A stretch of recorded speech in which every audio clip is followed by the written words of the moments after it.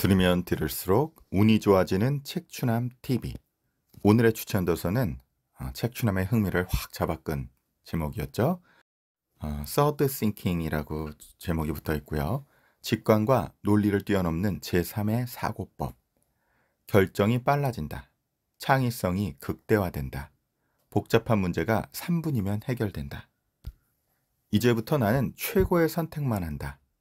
최신 과학, 심리학이 입증한 최강의 사고법. 지금의 나를 넘어 즉각적이고 강력한 변화를 이끄는 서드 싱킹의 힘. 인생은 하나하나의 의사결정으로 이루어진다. 그렇다면 우리는 매일 어떤 의사결정을 하고 있을까? 노벨 경제학상을 수상한 대니얼 카너먼을 비롯해 지금까지의 연구에 의하면 인간은 직관, 제1의 사고와 논리, 제2의 사고라는 두 가지 뇌작용으로 사고한다고 알려져 왔다. 그런데 최근 뇌과학과 심리학 연구 결과 인간의 사고에는 직관과 논리를 뛰어넘는 제3의 사고, 바로 서드 싱킹이 존재한다는 것이 밝혀졌다. third thinking을 인식하고 스스로 활용할 수 있게 되면 빠른 의사결정이 가능해지고 매 순간 최고의 선택을 하게 되며 창의력이 극대화되고 복잡한 문제를 즉시 해결하고 잠재된 가능성이 발현되는 등 이전과는 비교할 수 없는 차이를 만들어낸다. 전 세계에서 가장 앞서 third thinking을 연구해온 세계적인 선구자인 저자는 이와 같은 서드 싱킹의 놀라운 효과뿐만 아니라 이를 실생활과 비즈니스에 활용하는 방법까지 이 책에 모두 담았다. 가게야마 데쓰야 지음 이정현 옮김 21세기 북스입니다. 애벌레가 나비로 날아오르는 책추남 나비스쿨 설립을 위해 좋아요, 구독하기, 알람 설정, 공유와 추천도서 소장으로 함께 나비 효과 만들어주세요. 경영 뇌과학자이자 의학 박사인 가게야마 테스야는 동일본 대지진으로 많은 사람의 죽음을 겪으며 인생관이 극적으로 바뀌었다. 후회 없는 삶을 살겠다는 마음으로 관심 분야였던 뇌과학 연구에 매진하기 시작했고 도호쿠대 대학원 뇌과학 박사과정에 진학해 뇌기능 이미지 연구의 1인자인 가와시마 류타 교수와 스기우라 모토아키 교수의 지도를 받았다. 이제부터 나는 최고의 선택만 한다. 인생은 선택의 연속이다. 어느 대학에 갈 것인지, 어떤 회사에 취직할 것인지, 정말 이 사람과 결혼해도 괜찮은지. 인생의 큰 고비마다 결정을 해야만 한다. 이뿐만이 아니다. 오늘 아침에 무엇을 먹을지, 어떤 색 옷을 입을지 매일매일 무수히 많은 결정을 한다. 크고 작음의 차이가 있을 뿐 우리는 최선의 선택을 위해 많은 시행착오를 겪으며 매 순간 무언가를 결정한다. 지금까지의 경험을 돌이켜보자.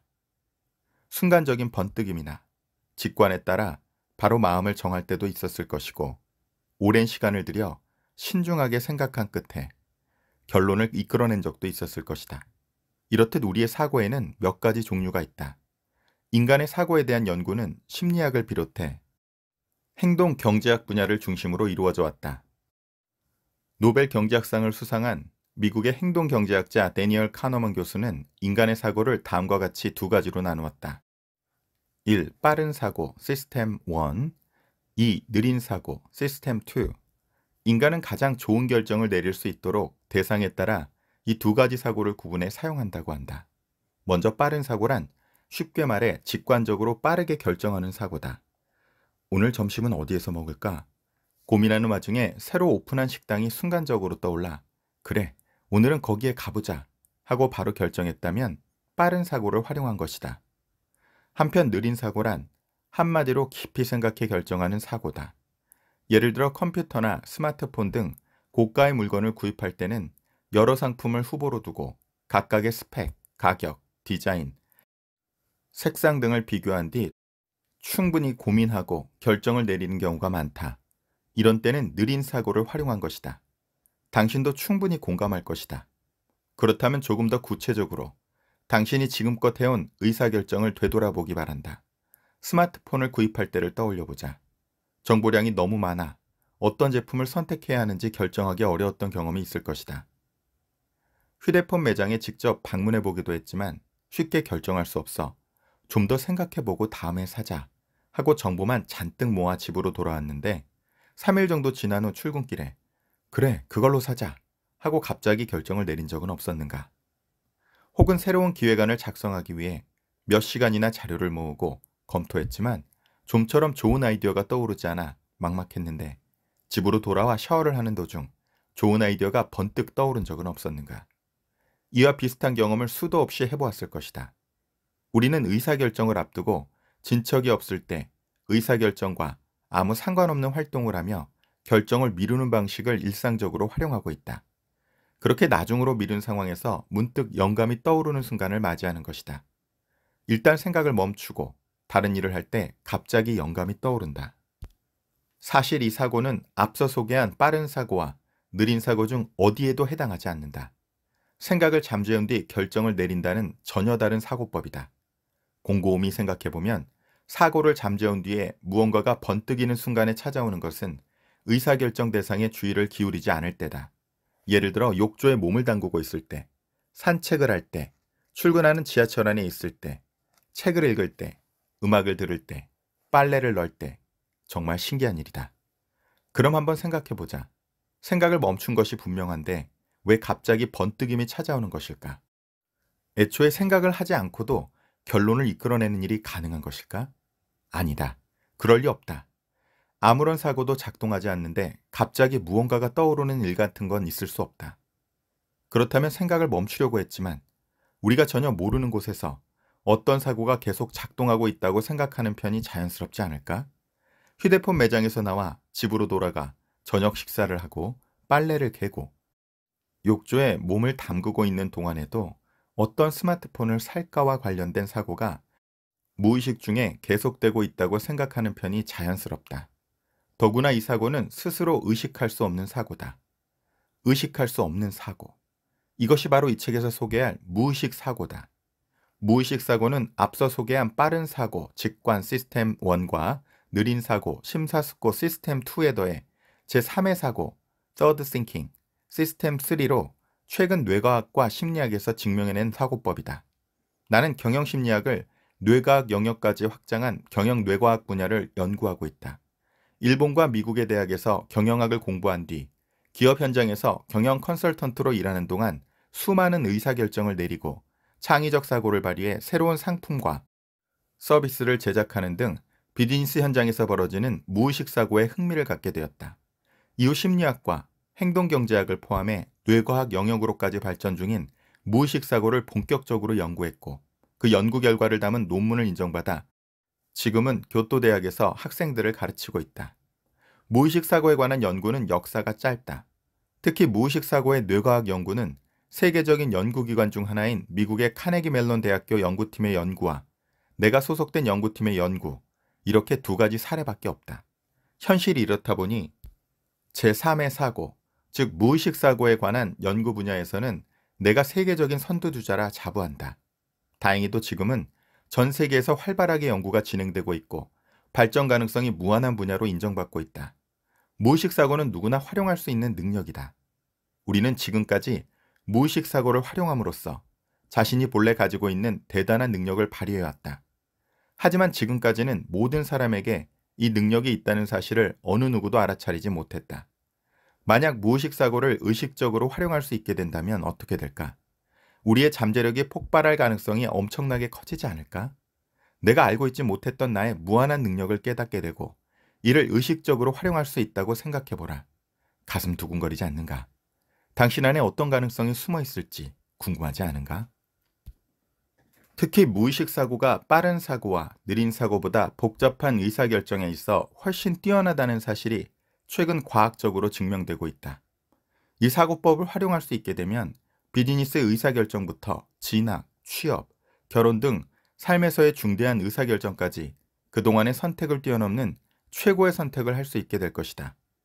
앞으로 우리가 중점적으로 활용해야 하는 것은 빠른 사고도 느린 사고도 아닌 지금부터 이 책에서 소개할 제3의 사고, 즉 무의식 사고다. 오늘날 인공지능은 놀라울 정도로 급속히 발전하고 있다. 우리는 머지않아 그 어느 때보다 많은 시간과 노동을 창의적 활동에 할애하게 될 것이다. 반대로 생각하면 창의력을 발휘할 수 없다면 설 자리가 없어질 것이다. 아이디어가 떠오르지 않아. 내가 더 창의적인 사람이라면 좋을 텐데 어떻게 해야 창의적인 발상을 할 수 있을까?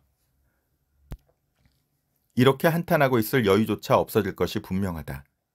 자신의 창의성과 아이디어 부족을 고민하는 사람에게 도움이 되는 것이 바로 무의식 사고다. 이 책을 읽고 무의식 사고를 활용해보라. 당신의 창의성이 눈에 띄게 향상될 것이다. 천재 음악가 볼프강 아마데우스 모차르트, 대문호 어니스트 헤밍웨이와 같은 세계적인 위인들은 무의식 사고를 활용해 위업을 달성했을 가능성이 크다. 뿐만 아니라 마이크로소프트, 애플, 스타벅스 등 세계적인 기업의 성장 뒤편에도 무의식 사고가 존재했을 가능성이 크다. 즉, 세상을 놀라게 할 아이디어는 무의식 사고를 활용함으로써 만들어낼 수 있다. 창의성을 극대화하는 궁극의 사고법. 그것이 바로 무의식 사고다. 어떤가? 이제 무의식 사고가 조금 궁금해지기 시작했는가? 사고란 무엇인가? 왜 무의식 사고가 중요한가? 어떻게 하면 무의식 사고를 활용해 우리의 일상생활을 잘 꾸려나갈 수 있을까? 자, 이게 바로 이제 이 책의 주제 질문들이죠. 한 책은 어떤 질문에 관한 답변을 하는 거기 때문에 여러분 책을 읽을 때는 이 책의 저자가 어떤 질문을 던졌고 그 질문에 답하고 있는가를 파악하는 게 주제 파악하는 데 아주 핵심입니다. 그래서 책춘한 북살롱에서도 이 주제 질문 찾는 것을 제 첫 번째로 아, 그 레포트에 기록하게 되어 있죠. 아, 어떤 질문에 관해서 답하고 있는가. 책을 읽을 때 꼭 한번 머릿속에 생각해 보시고 책을 읽어 보시기 바랍니다. 지금부터 이러한 질문에 대한 답을 찾아보겠다. 어려울 것 없다. 누구나 이미 사용하고 있는 사고법이기 때문이다. 다만 무의식 사고의 존재를 알고 활용하는가, 인식하지 못한 상태에서 활용하는가의 차이일 뿐이다. 만약 무의식 사고가 무엇인지 제대로 알고 활용한다면 당신 생활에는 엄청난 변화가 일어날 것이다. 실제로 나 자신도 여러 인생의 국면에서 무의식 사고의 도움을 받아왔기에 그 놀라운 힘을 장담할 수 있다.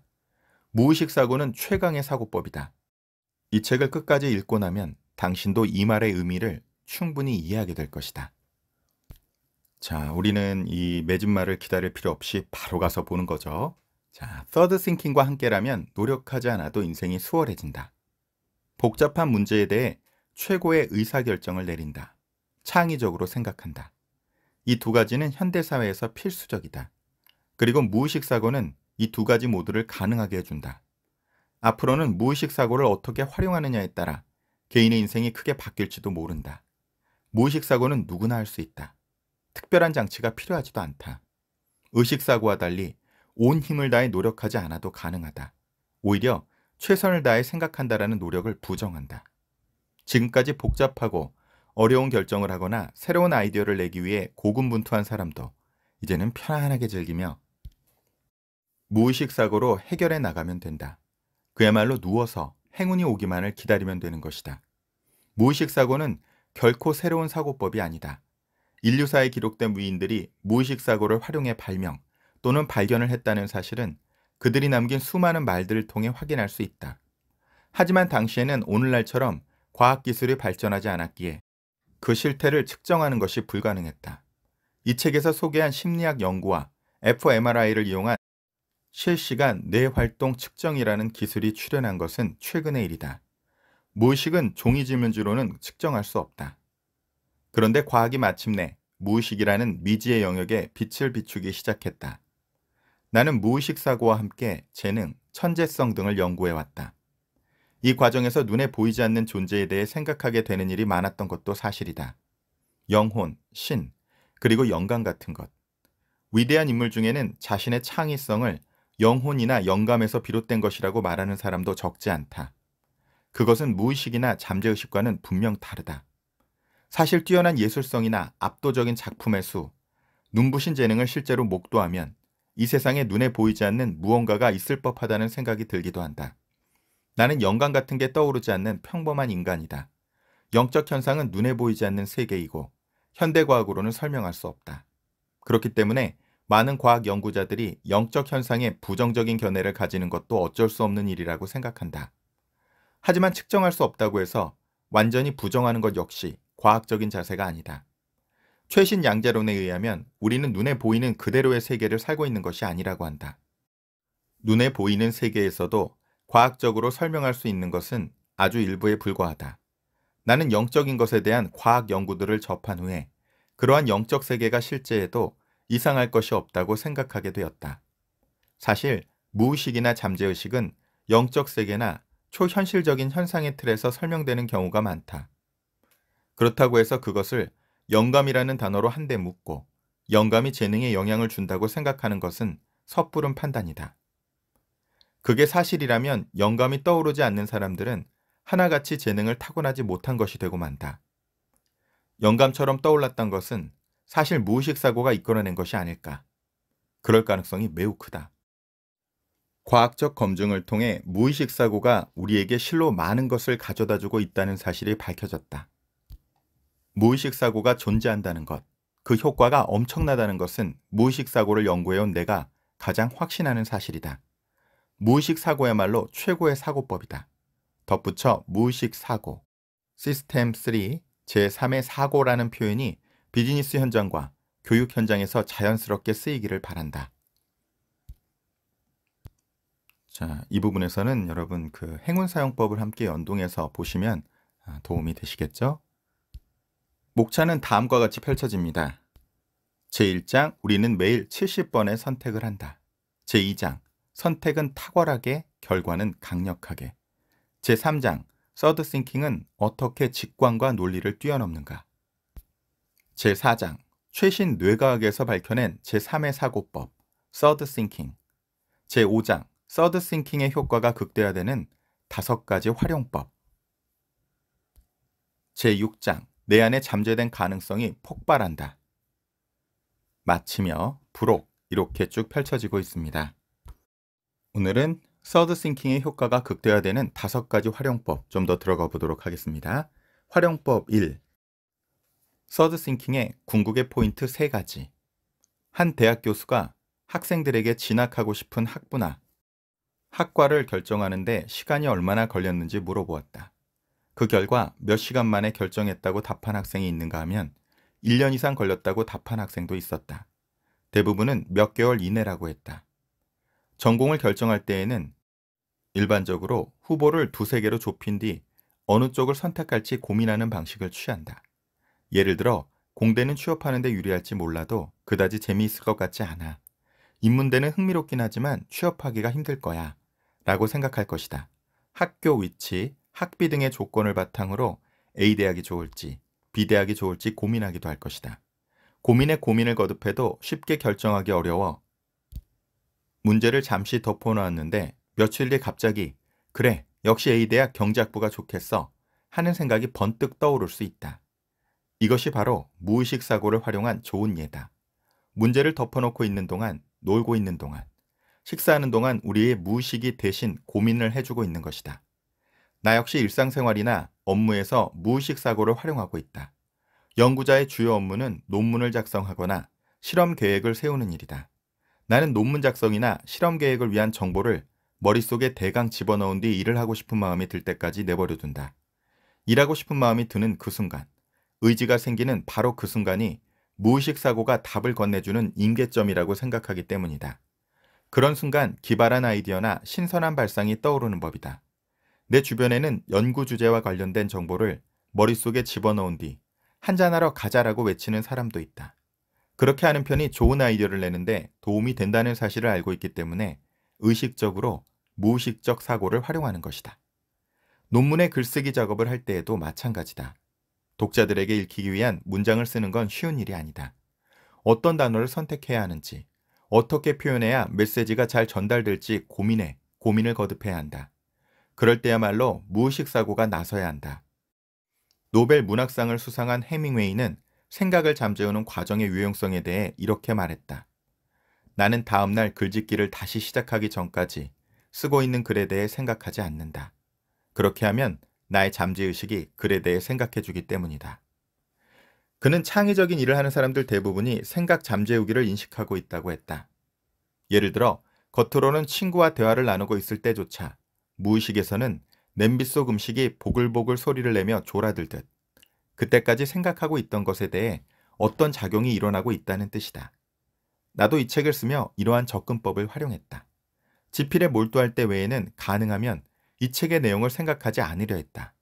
그러자 신기하게도 꼭 써야 할 내용에 대한 아이디어가 샘솟았다.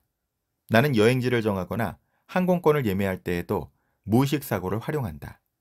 여행을 가려고 마음먹어도 가고 싶은 곳이 너무 많아 어디로 갈 것인가를 정하는 데만 며칠이 걸릴 때가 있다. 게다가 언제 갈 것인지, 어떤 여행사의 어떤 상품을 선택할 것인지, 예산은 얼마로 잡을 것인지 등 검토할 사항은 차고 넘친다. 그럴 때에는 여행 후보지를 두세 군데로 좁히고 각 지역의 정보를 대강 조사한 뒤 생각을 잠재운다. 항공권을 예매할 때에도 마찬가지다. 국내 도시를 오가는 여행이라면 크게 고민할 것 없지만 다른 나라로 가는 것이라면 항공사, 비행 루트, 환승 유무 등 고려해야 할 사항이 늘어난다. 숙박을 포함한 상품도 있어 예산에 맞춰 생각하는 것은 꽤 귀찮다. 그럴 때에도 후보를 몇 가지로 좁힌 뒤 머릿속에 내버려둔다. 그러고 나면 몇 시간 혹은 며칠이 지난 뒤 문득 이거다 하고 느낌이 오는 것이 최선의 선택이 되기도 하는 법이다. 나는 무의식 사고의 존재를 알고 난 후부터 한층 더 호기심을 가지고 정보를 모으기 시작했다. 그러고 나서 머릿속에 내버려두면 무의식이 알아서 정보를 처리하고 최고의 답 또는 번뜩임을 선사해 줄 것임을 알고 있기 때문이다. 나는 그러한 번뜩임의 순간을 놓치지 않기 위해 늘 메모장을 가지고 다닌다. 스마트폰에 메모리 기능이 있는 애플리케이션도 설치해 두었다. 어려운 문제 해결법이나 최고의 아이디어는 정말로 짧은 한순간에 떠오른다. 그것을 놓치지 않기 위해 모든 수단을 동원할 필요가 있다. 무의식 사고란 무엇이고 어떤 특징이 있는가? 여기까지 읽었다면 이제 어느 정도 이해했을 것이라고 생각한다. 하지만 무의식 사고가 무엇인지 안다고 한들 어떻게 활용해야 하는지 그 방법을 모른다면 아무 소용이 없다. 그래서 지금부터는 무의식 사고를 활용하는 구체적인 방법을 소개하려 한다. 활용법 2. 서드 싱킹이 극대화되는 시간은 단 3분. 무의식 사고를 잘 활용하기 위해 가장 중요한 것은 무엇일까? 바로 무의식 사고를 작동시키기 위한 시간을 확보하는 것이다. 그것은 의외로 어렵다. 우리는 무언가를 결정하거나 아이디어를 낼 때 직관적으로 빠르게 생각하거나 의식적으로 충분히 생각하는 데 익숙해져 있다. 앞서 말했듯 나라나 문화권에 따라 선호하는 사고 스타일이 다르다. 유럽이나 미국에서는 합리적으로 재빠르게 답을 얻어 결론을 내리는 것을 바람직하게 여기는 반면 일본에서는 결론은 물론 과정도 중요시한다. 신중하게 생각하는 합리적 인지 스타일을 선호하는 것이다. 많은 사람이 누군가의 성공 스토리를 들을 때 역경을 헤쳐나가고 온 힘을 다해 노력하며 해결책을 궁리한 끝에 성공할 수 있었다는 식의 이야기를 좋아한다. 즐기면서 쉽게 성공했다는 이야기는 누구도 감동시키지 못하고 왠지 듣고 싶어 하지 않을 것처럼 느껴지기도 한다. 물론 노력하고 애쓰는 것의 가치를 부정할 생각은 털끝만큼도 없다. 하지만 무의식 사고를 잘 활용하려면 최선을 다해 생각한다라는 행위 자체를 해서는 안 된다. 그것은 의식 사고를 사용한다는 의미이기 때문이다. 애초에 무의식 사고는 과제 이외의 활동에 집중하고 있을 때 사고하고 있는 건 아닐까라는 가설에서 출발했다. 물리학자 아이작 뉴턴이 만류 인력의 법칙을 발견하기까지, 알버트 아인슈타인이 상대성 이론을 발견하기까지 그들에게는 수년 혹은 수십 년의 세월이 필요했을 것이다. 그렇다면 그들은 그 기간 동안 밤낮 없이 과학 법칙만을 생각했을까? 나는 그렇지 않았을 것이라고 생각한다. 분명 취미 생활을 할 때, 식사를 할 때, 산책을 할 때 무의식 사고를 활용했을 것이다. 문제 대상에게서 주의를 돌렸을 때에도 무의식은 계속 사고하고 있다. 무의식 사고에 대한 발상은 이렇게 장기간에 걸친 사고가 무의식적으로 일어나고 있는 것은 아닐까 하는 생각에서 시작되었다. 물론 이것을 과학적으로 검증하고 증명하기란 매우 어렵다. 수일, 수개월 동안 피험자의 사고를 모니터링하는 실험은 불가능하기 때문이다. 그렇기에 무의식 사고 실험에서는 지금까지 소개한 것과 같이 수분 동안 방해 과제를 하게 함으로써 무의식 사고를 위한 시간을 만드는 방법을 주로 사용한다. 이때 주의해야 할 점은 무의식 사고를 위한 시간을 얼마나 확보해야 하는가, 어느 정도 길이가 적당한가일 것이다.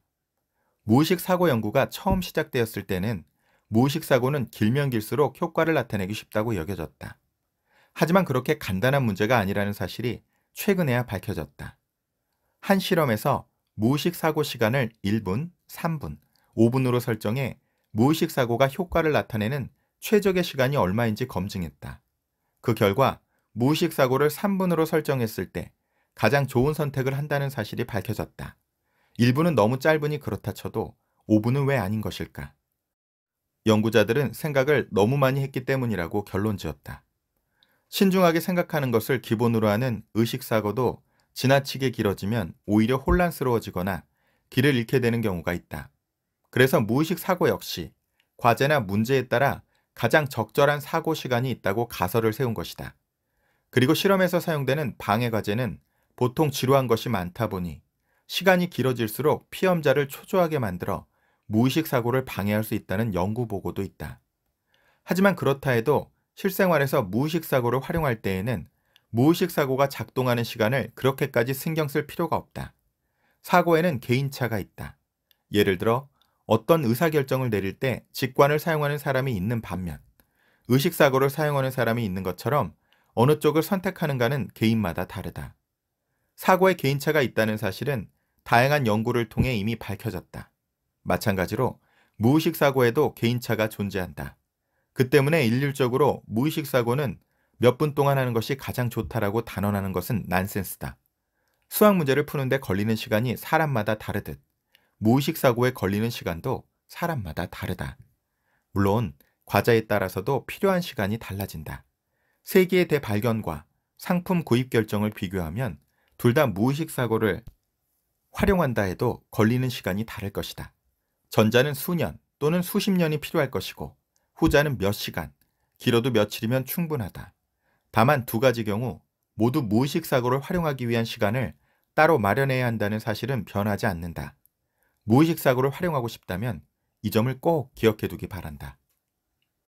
활용법 3. 쓸데없는 일을 함께하면 효과는 더 커진다. 무의식 사고를 작동시키기 위해서는 문제와 상관없는 대상에 주의를 기울일 필요가 있다. 무의식 사고 실험에서 행해지는 방해 과제가 바로 그것이다. 무의식 사고는 문자 그대로 무의식에서 일어난다. 단, 그렇다고 해서 의식적인 주의가 아예 필요하지 않은 것은 아니다. 무의식 사고를 시행하기 위해서는 문제 대상과 다른 무언가에 의식적으로 주의를 기울여야 한다. 이때 그 무언가가 무엇이어도 상관없는 것은 아니다. 내게 어디에 주의를 기울여야 하는지, 무엇을 하면 좋은지 묻는다면 그다지 어렵지 않은 과제라고 답하겠다. 이에 대해 검증한 실험이 있다. 피험자에게 일반적인 용도와 다르게 벽돌을 사용하는 방법을 2분 동안 최대한 생각해보라는 과제를 주어 창의성을 측정해 보았다. 과제를 받은 피험자는 다음과 같이 네 그룹으로 나뉘었다. 1. 바로 답변한다. 2. 쉰다. 즉 아무것도 하지 않는다. 3. 벽돌과 상관없으면서 쉬운 과제를 한 후에 답변한다. 4. 벽돌과 상관없으면서 어려운 과제를 한 후에 답변한다. 실험 결과 3번 벽돌과 상관없으면서 쉬운 과제를 한 후에 답변한 그룹이 다른 세 그룹보다 무의식 사고의 효과가 두드러지게 나타났다. 이 실험에서 알 수 있는 것은 두 가지다. 첫 번째는 쉬면서 아무것도 하지 않으면 무의식 사고의 스위치가 켜지지 않는다는 점이다. 과제에 몰두한다라는 행위가 없다면 무의식 사고는 시작되지 않는다. 두 번째는 어려운 과제보다 쉬운 과제를 할 때 무의식 사고의 효과가 더욱 커진다는 점이다. 무의식 사고를 잘 활용하고 싶다면 무의식 사고가 일어나는 동안에는 어려운 일을 하지 않는 편이 좋다. 비슷한 연구가 또 있다. 방해 과제로 유추 문제 같은 어려운 과제가 아니라 아이팟으로 좋아하는 음악 듣기를 했더니 피험자는 더 좋은 선택을 했다. 즉, 무의식 사고를 통해 좋은 성과를 내고 싶다면 즐거운 일, 기분 좋은 일, 쉽게 할 수 있는 일을 하는 것이 좋다. 과제에 따라 무의식 사고가 일어나는 시간은 수일, 수주, 수년이 걸릴 수 있다는 사실은 앞서 모차르트, 차이콥스키, 푸엔카레 등의 사례를 통해 확인했다.